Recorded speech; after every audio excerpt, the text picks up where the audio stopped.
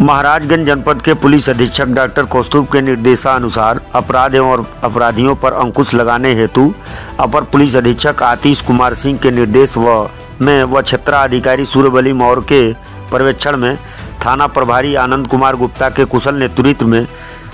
आज दिन मंगलवार को प्रत्येक ग्राम सभा के ग्राम प्रहरी चौकीदारों संघ आवश्यक बैठक की गई, जिसमें थाना प्रभारी द्वारा समस्त ग्राम सभा के चौकीदारों को निर्देशित किया गया कि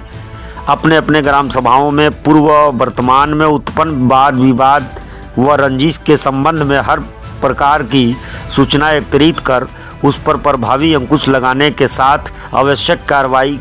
भी की जाएगी, जिसके, जिससे ग्राम सभा में शांति का माहौल बना रहे और कोई वाद विवाद ना होने पाए। चौकीदारों के माध्यम से अपने अपने ग्राम सभाओं की वाद विवाद के घटनाओं को रोकने के दृष्टिकोण से सूचना एकत्रित कर प्रभावी अंकुश लगाने हेतु गोष्ठी की गई। व आवश्यक दिशा निर्देश भी दिया गया। इस गोष्ठी में थाना प्रभारी आनंद कुमार गुप्ता, उप निरीक्षक मनीष पटेल, चौकी प्रभारी शीतलापुर, उप निरीक्षक विवेक कुमार सिंह, चौकी प्रभारी बहुआर, उप निरीक्षक अनिल राय एवं तमाम ग्राम प्रहरी चौकीदार उपस्थित रहे।